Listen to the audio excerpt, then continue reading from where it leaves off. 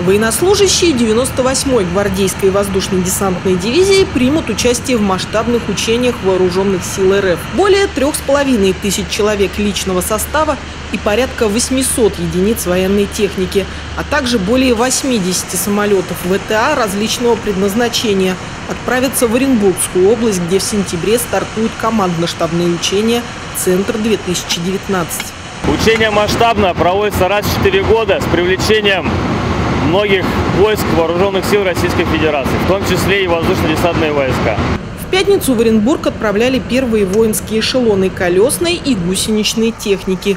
Путь не близкий, но военные уверены, транспорт без проблем преодолеет расстояние. Сейчас идет связная машина, та же самые бортовые КАМАЗы, э, та же самая комендантские подразделения, также обеспечение связи. Главное аккуратненько все сделать, чтобы была швартовка, аккуратно все. Все контролируют, каждый начальник контролирует каждую машину. Работать нашим военным придется в новых условиях, на незнакомых полигонах. Запланировано десантирование полутора тысяч военнослужащих и более 240 единиц техники и грузов.